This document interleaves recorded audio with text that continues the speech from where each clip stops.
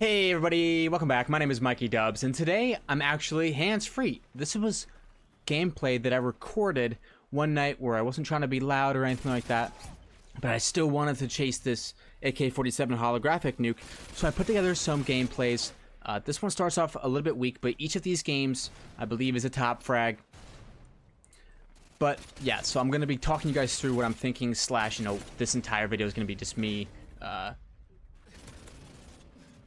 going through me trying to get this this uh, AK-47 nuke, and who knows, maybe by the end of it we might have something special for you guys.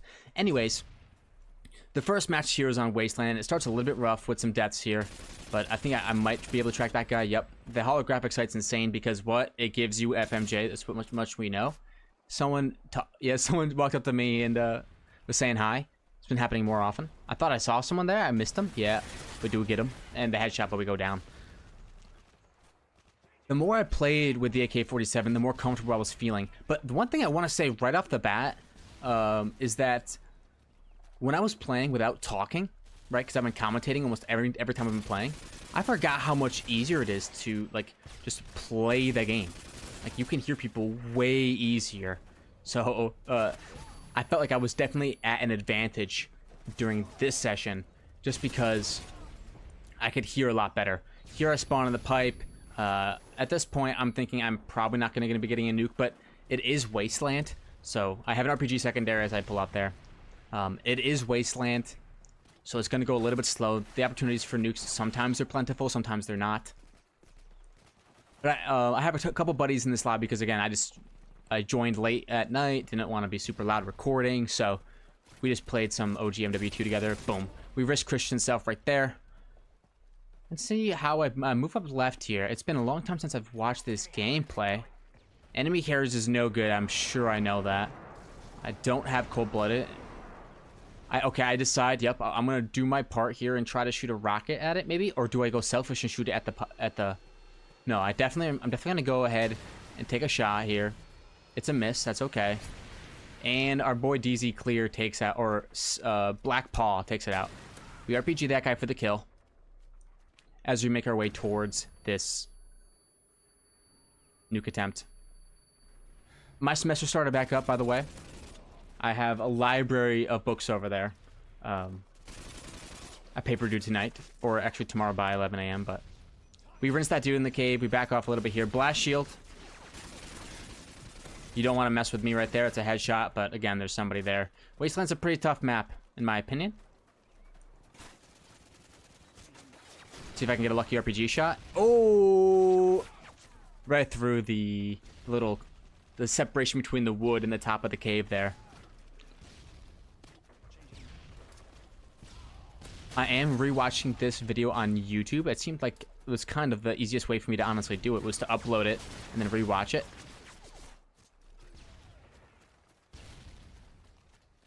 Yo-yo's there. I'm going to I'm gonna go towards the cave again. Looks like I'm I'm kind of committed to this RPG. Yeah, this RPG bit. There's no reason for me to shoot that second rocket there. I honestly don't think it's worth it because I only got one hit marker I, I heard from the first one. And now I have no RPG shot for if I want to uh, contest anything over here. See if I win this fight against someone who's highly in cover. Only 30 rounds left. Or 30 rounds. In nice. Okay, we do outplay if you can, one thing I'm starting to learn a little bit, especially from playing MW3 OG, is that if you can barely see your opponents, that means they can barely see you, especially like through brush. So if you can find areas where like you know that, like, yeah, it's gonna be difficult to see, but I know exactly where to look. That's kind of the exact area that you're trying to manipulate. You don't want to fight a fair fight if you can help it. You want to find areas that are advantageous for you. And even if that's a bit of brush that makes it really hard to see out of, but almost impossible to see into, Sometimes that's what you kind of want to be playing around. Anyways, I go back into the cave here. I see, yeah, there's definitely someone on the on the radar out there, but they're not showing, which means I don't want to sit. I see one, I see two. Bango, bongo, bango, double kill for your boy. I'm assuming that more are going to be uh, darting around here, but I do a quick check. I'm sure this is a quick check and nothing too crazy. Beaver, what's up, brother? Yeah, it's nice to see you in a team deathmatch and not a free-for-all. And I think I typed to him. I say, "Oh, the, I, I'm saying the the real equalizer is what I meant to say there, and I, I I ruined my kill streak to get it off. At this point, I'm feeling like the nuke isn't really that possible. An absolute rinsing again. That's sleight of hand diff. I'm making a build an OG Modern Warfare 3 that I think is, is pretty decent, which is Assassin with Quick Draw, which gives you the advantage of Surprise Factor with Assassin and then Quick Draw. But you can't run them both, so you need to run Specialists. You know, just MW3 things. If I shoot this rocket, yeah, I wait here. I see a shadow. Boom. Yep, and it's on the left-hand side. I'm super exposed from behind here, though. Yep. I, it doesn't surprise me that I get rinsed there. I'm pretty sure it didn't surprise me at the time either. Yo-Yo Hot Dog is in there. I fire one rocket, nothing. Fire second rocket, nothing. That's tough. Stun over the top. Still nothing. I get chosen. Nothing I can do about that. Let's see. I do a far stun there. That's that's basically maximum angle. Turn left, looking. Three outside, so I'm, I, I might go for more aggressive. Oh, Beaver with the double Semtex. Does a good job clearing that. I have to know this is fruitless. How long do I stay here for? Yeah, I have to know it's fruitless. And it was kind of nice just to play without, you know, trying to always, you know, say the right thing at the right time. You know, when you're when you're commentating, it's like trying to walk and chew bubblegum at the same time. But right here, I can just go back to where I was. There's really no reason to shoot those RPG shots. But I want to do my best for the team. If I have it, I might as well try. I see, there's somebody over there, but they're not quite within angle, and I'm exposing myself to the left to do it. Okay, we lose the game uh, 50 to 75. But we top frag. Our team got absolutely farmed. Sorry to my friends who I'm exposing here, but yeah, this was game one of the the no com games. And so we're gonna be jumping hopefully right into game number two here. Yep, 21-13. All right, game number two coming at you. We go to underpass. And we're gonna try to pop off here. I believe this is a single digit death game if I remember correctly, so that's that's good. We get one right around the corner. There's two more. Throw a stone. I think that's a smart decision. That's a lot of hit markers. Oh my goodness. It's it's Wabbit season, baby. Do I decide to go under this underpass? Uh, mm, I do like going... I've been doing that more and more where I've, I've take the underpass to the opposite side and like patrol this zone specifically. I think this zone is good. I, I think the zone is good if you patrol it. I don't think that this that part of the underpass is strong if you try to like advance to the other side of the map, particularly like to my left right here. Here, I'm assuming that someone's going to come sprinting right across my face because if I'm on the far flank, and he does. So that guy's name is Stalker, okay? So I'm a, I know that he's going to come back for me. So what do I do? I sprint away here, right? And I'm trying to find the next hiding spot. Because I know he's going to come right back because he doesn't want... He, yeah, I think he just threw a stun behind me. I think he's... And so I sit here and wait. And I use this just for any movement. And I'm assuming Stalker's going to come come running up to find me. So I'm waiting, I'm being patient. Because his natural path would take him past me here. If he went to go check for me. So we're going to see. Ransom, no, it wasn't Stalker, it was Skinny. But there's Stalker, he was over there as well. And I, I lose a 3v1. I take that one down with me. That's fine. We start the game 5 for one. We have Mad Dog, we got Beaver. Got some of the OGs in this. Rinse that guy through the... Whatever objects were there because AK-47 gets the FMJ. I hear someone running up behind me, right? So I know it's a teammate. I can push forward. Advantageous position here. This is a nice spot. They be chilling. I wonder if I see anyone, like how long I, I stay committed to this. Yeah, one re I, I, I don't like staying up there too long just because like it only has one real angle. So I'm I assume that because someone died behind me here that there's to be someone again. I'm waiting for someone just to run across me and tick, tick, tick, tick. We snip that guy from super far away. But then he gets us back. Or someone gets us back. Someone, yeah, approach really quickly. I'm assuming we're to see this guy, and yet we do. No payback. That one was easy. Just followed his natural path. A noob tuber. I put on blast shield. Yep. S smart instincts. Should have done it a little bit sooner, but that's fine. And he gets us again with the M4. I, I, I'm, I'm almost certain I won't let him do that again. But we're gonna find out. If I if I go down to that same guy, we're gonna find out. Oh, I've turned on and off blast shield. I I want a little bit more of that peripheral vision around here. There probably was somebody there. Oh man, I'm taking shots. Blast shield's on. We get him. Yep, there goes the M4 guy. Very nice. Little payback. That stun should have hit me, but doesn't. Beaver with the, the Kimbo. Rangers. Firing just for the sake of firing. Oh my goodness. I probably should have watched that kill cam to figure out exactly where that guy was shooting from, but that's fine. A lot of this time, I'm, I'm just kind of rushing to get as many kills as I can to try to go for a nuke. Okay, yeah, that one's just tragic. I, the people that I chose to shoot at just left, so... We do end up cleaning one up, and it could have been at least two or three if I prioritized differently. Okay, that he comes running up the stairs, a little payback. Come on, AK. Doesn't get it. Running out of ammo and I go down. That one guy, Skinny, with the M4 is, is, is, is doing a good job this game getting kills on me. I'm assuming that he has most of them. It just felt kind of weird. Like, he knew exactly where I was in the beginning, too. Like, when I was camping to the side there, he had no reason to know that was there. I thought that was Stalker. But he came running over there to come check. I feel like he might have had some... I don't want to immediately accuse him of radar hacks, but... We gotta think about what what the alternatives are here. Someone gets a Pred missile behind me. I'm not too concerned about that, but I do know people have been using the center building area. Right, so I'm gonna be... I just want to watch it. Just observe. Combat Hunter style. I, I didn't know I could climb up here, so I was like, just kind of using this opportunity to chill. And I figure it might give me opportunity to get one unsuspecting person um, who might not know that I'll, I'll be up there. And I, I believe that cash out with it? We're going to find out. So I missed someone to the right right there. Yeah, that person didn't quite know I was there. I have to know this person's going to be above here. I have to know. Yep. And I felt like right there where the two kills were like... I, it gave me an advantage to be up here, but I feel like my advantage went away. Yo, maybe, yeah, that's it. That's the third one. I was like, you know what? I've used it for three kills now. I think it gave me the advantage each of those situations. Just wait. If this is skinny and he, and he peeks around the corner at me. Okay, yeah, no radar hacks. Okay, there's a six kill streak for the Harrier, but the game's almost over, and uh, it's just tough.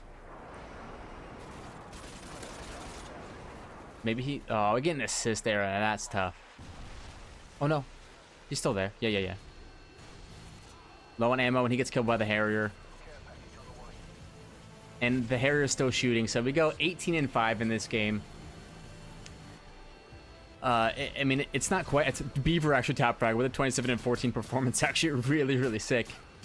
But we had a nice KD. We had a, a three and some change KD, which is which is pretty nice. 3.6 KD. Oh, and we're gonna be in the uh, in the lobby here. Let me just pause this.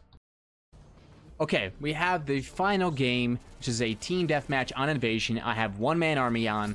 Um, one-man army setups, AK-47. I was so sick of running out of ammo that I felt like, you know what, let's just try to do some one-man army shenanigans. I have on stopping power right now, I believe.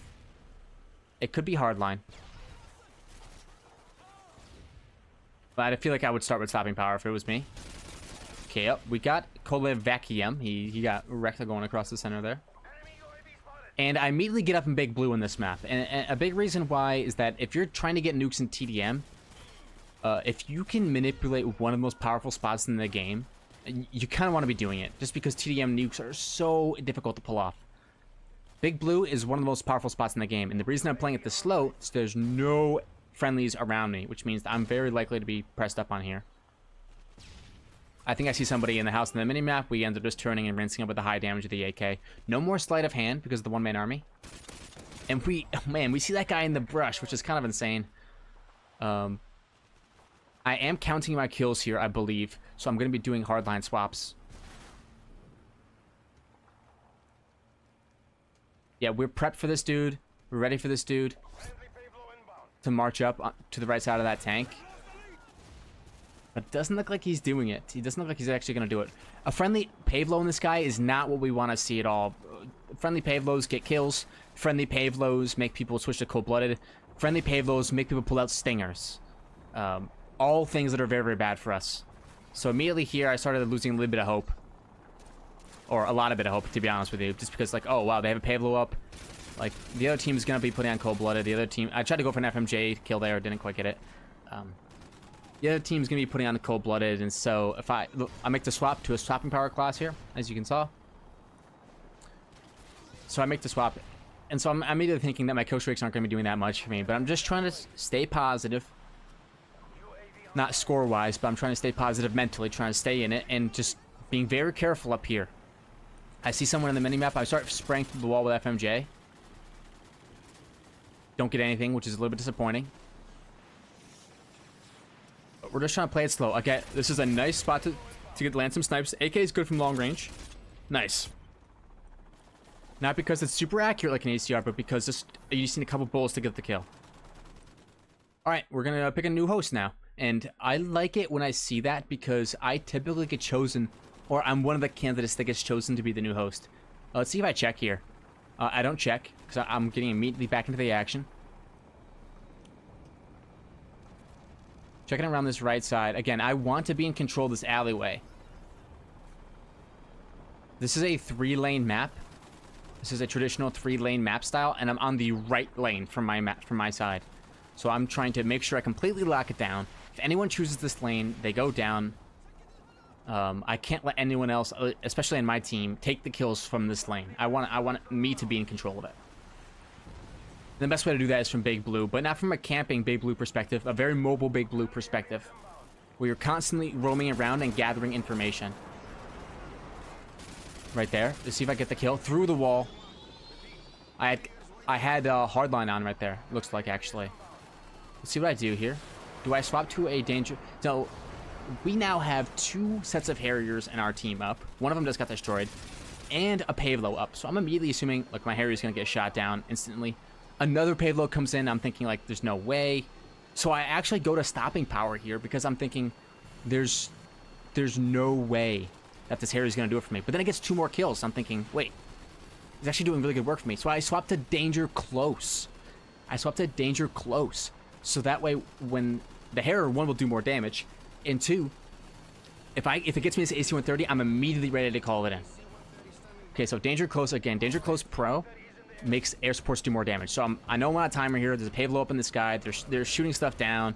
I'm like, I just got to rack in as many kills as I can with this AC-130. And I'm so happy I had AC-130 this game because if I had a Chopper Gunner, I wouldn't have been able to call it in. So they're, they're now starting to target me. The Pave Low goes down right there. It looks like he's the guy doing it. We target him. Another big kill. Danger close AC-130 is really, really strong. Um, it, it's, in my opinion, probably the strongest kill streak in the game. Come on now. Land those kills, brother. That should be, it's a decent shot. You don't need to shoot those shots at him. He's already dead. Anyways, what do we swap to? We go to hardline, and we need three more kills if we have hardline on. So we get a full set. I take damage. But if you look at the score, it's 64. We only need 11 more kills, and there's it's a full match. So I'm like, okay, I have to hustle. I need three kills ASAP. We rinse one right there. That's with hardline. There's someone right here. Thanks to this UAV, we have extra information. We need, I believe, one more kill. Scanning. Come on. Painkiller. I'm, I'm sweating bullets. Let's go. 24 kill streak, called in immediately. We're not messing around. A 24-0 flawless nuke with the AK-47 holographic. And we used FMJ to get the Harrier that popped off. Like, the FMJ was crucial for this nuke. It wasn't like a side character. I rinsed that guy through the wall to get the Harrier, and that's how I ended up getting it. Anyways, thank you all for watching. If you enjoyed, hit that like button, subscribe to see more videos like this one, and I'll see you all in the next one. See you later.